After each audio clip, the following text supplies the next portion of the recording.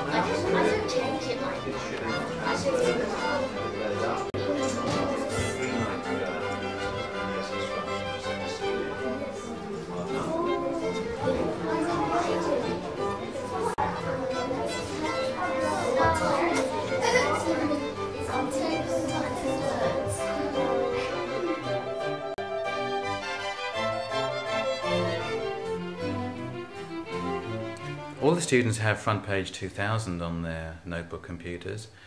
Could you relate how this software has been used in science this year? Yeah, we've used uh, FrontPage on a couple, couple of occasions where students have written their own web pages. One was with a year 8 lesson on a biology topic to identify organi organisms using dichotomous keys. And sometimes this has been done, or I've done this in the past with cartoons, and they've had to write their own dichotomous key for cartoons of, uh, of different kind of space aliens. And it illustrates the principle very well. But with having Mavica cameras and the ability to write web pages, and some that used Word documents, uh, in fact, as well, um, we managed to do dichotomous keys using photographs of the students in the class themselves. And so they wrote uh, questions which would identify different students from the class and then made a uh, pastiche of the photographs and a, a dichotomous key um, themselves.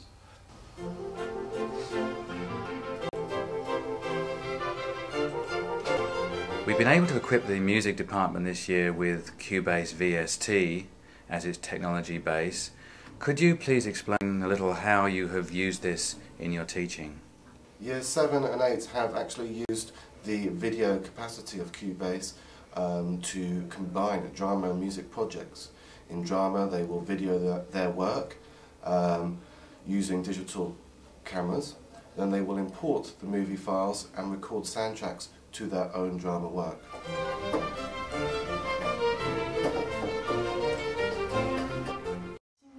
6 millions, euh, 300 000 touristes en 1999, 1860 km d'autoroute et 3 aéroports. On va continuer à tourisme. As a teacher of geography and, of course, a French language teacher, this has put you in an ideal position, really, to exploit both subject areas.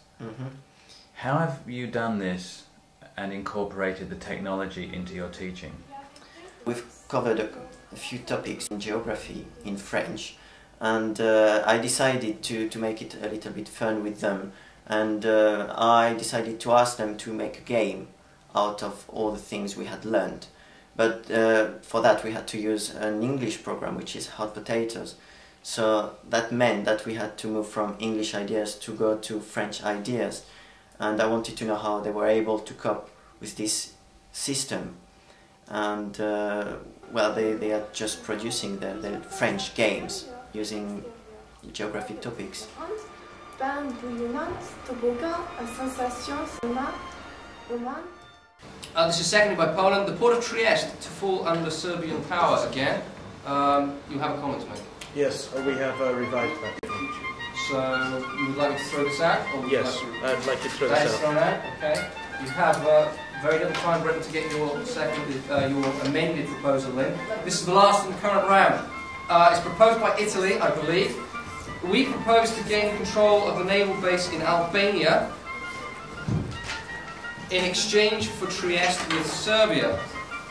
It's the naval base of Albania, not Albania. Just the naval base. Yes. I see. Okay, so we have a naval base here in Albania in exchange for Trieste. Okay, that's what's on the that's on the table.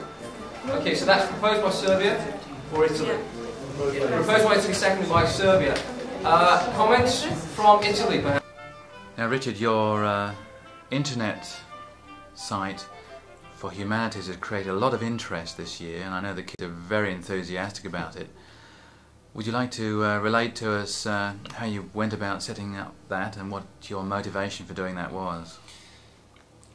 Well, the humanities website is um, is a little bit different, I think, to, to most school websites in that uh, it's not so much a website that creates content for students to access. It's not just a, a website used by students in quite a passive way. If you look at the content of the school uh, humanities website, about 85% of it is actually student work. It's actually the work uh, that's been produced in the classroom and at home using the laptops. And that's the big difference that uh, laptop technology allows us um, to move towards, and, and that is that the internet is used in a creative way by students um, building appropriate formats for their learning, rather than simply using information produced by other people in a very passive way.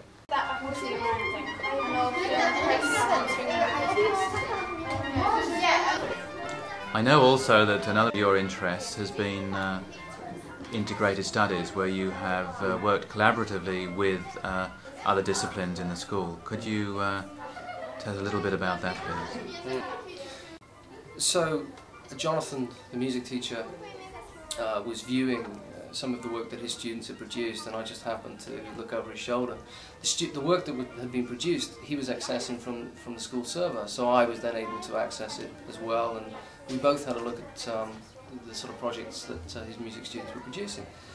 He was doing work on, on Shakespeare, writing some music uh, that was appropriate to the sort of dramatic scenes. I was studying with the same group of students Elizabethan England and social history. Um, we were able then to think of ways in which we might integrate the technology and the content, but with the range of skills being reinforced across um, both subject disciplines. It's on the board, okay? Solve them on paper. You're going to graph them and derive. There's going to be three different situations, and then uh, that'll be something directly related to the course. It's it's basically a, like a flight simulator for kids to try uh, to test their ideas on what random behaviour means. Um, right up, moving through the levels of understanding to um, using the methods of maths to actually uh, quantify probabilities. So I've used this in the class on a very much uh, what you'd expect in a science class, sort of experiment, hypothesis, um, hypothesis testing approach, which uh, really did um, transform the nature of the teaching because whenever they want, um, the network enables them to uh, share ideas and share uh, projects and investigations in a pretty powerful way. Um, it's not a piecemeal approach, which I would I've done in the past, where Where would you say that uh, you think your maths teaching would be in, say, 12 months from now? I know it's a difficult question, but uh, we've been involved with this technology for 12 months now. Mm. We've got over the first teething troubles, if you like. The uh, introductory phase is well and truly over. Do you think there'd be a period of consolidation, or are you still looking to sort of to, to push the envelope and find new ways of uh, using technology to teach maths? Well, some of our programs are still being integrated in our programs of study. That's a, work in progress, like Cabri and Derive. Um, we're still finding ways to use them in the classroom. Twelve months from now, I would, uh, I would hope that we could be using the, the kids' work and publishing it more. I think uh, the, the the power of learning in the classroom is compounded when it's shared.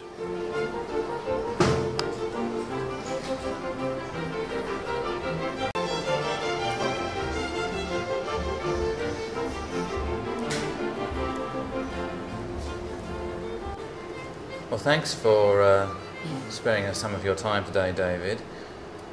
I'd be very interested to hear how you have managed to combine the use of laptops this year and uh, your Macintosh suite in the design and technology area.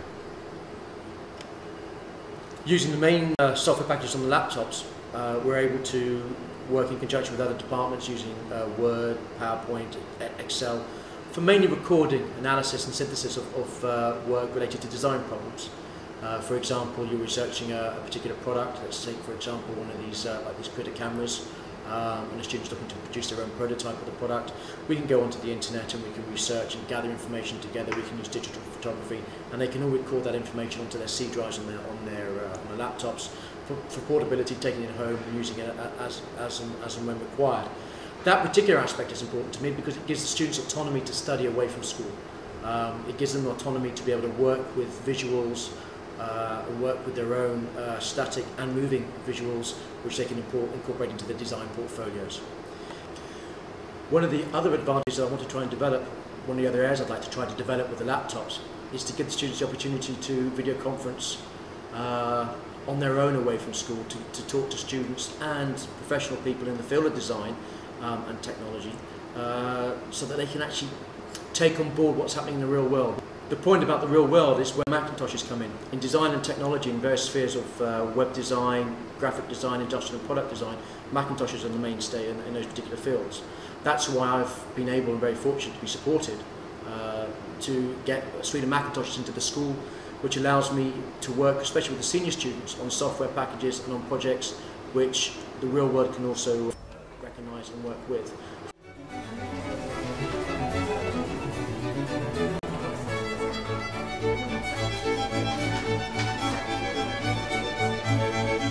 I notice in the galleries around the school that uh, you've successfully got your students to combine, if you like, what you might call traditional media, as, you, as found in most art departments, with digital media. Could you uh, talk a little bit about your uh, philosophy and the way you've uh, managed to do that?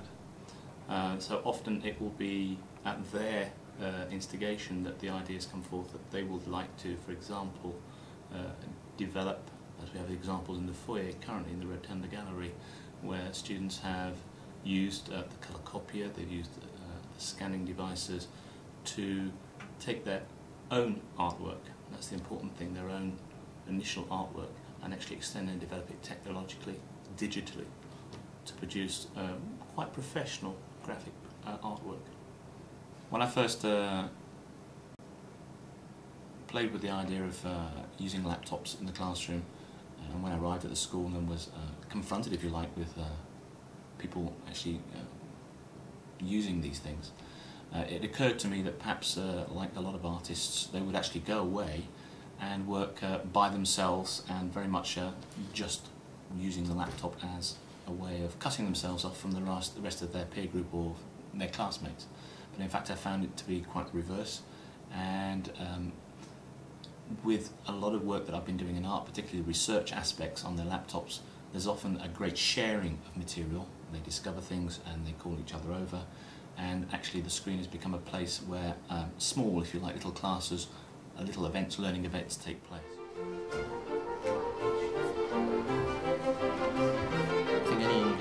Tell you that a laptop school is a dream, because um, so much of English really is about is about students drafting, redrafting, editing, changing the way something looks. Now, the, fact that word processing allows them to do that, constantly recreating new text, changing the audience, is fantastic. But much more than that, within a school like this, we can publish stuff instantly. So the, the audience changes. So much of written work done by students has an audience of one teacher, and so the work that my students do has that. But when you work in a school like this, what can happen is that work can be delivered and put up onto the onto a website within minutes, and students are aware of that, and that transforms, that motivates things. You've also got situations like um, group work, And group work can now operate on a, electronically much, much better. You can have students working, three or four students working on the same project, putting it together and under a, a different folder, creating a website together, even using email for, for group work across, across a classroom is fantastic. It, it enlivens everything, motivates everything. So I wouldn't say that it transforms what we teach. What it does is it transforms the way in which the students engage with the activities. Teachers often work in isolation from each other because of the nature of the work, because so much of the work takes place within the classroom within closed doors. One of the principal benefits that we didn't anticipate and that I'm sure will grow and develop and become much greater is the way in which teachers collaborate. In the past, collaboration was often one person focusing on one unit or somebody sharing something that worked very well. Now, the technology publicizes everything that you do because the work is shared, because we create folders of work, because we create websites of work, everything is there publicly and taken by the teachers. I think one of the ways in which things are going to improve enormously, it's already happened, it's, it's going to happen much more, is that the classroom walls will, will almost cease to exist.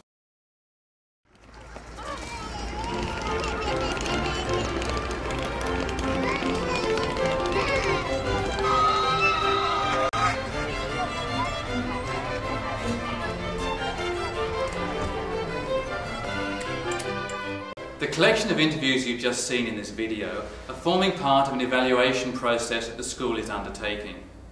After 12 months, we feel the time is right to look back at where we've come from and examine the steps we've taken, to look at our successes and to look at our failures.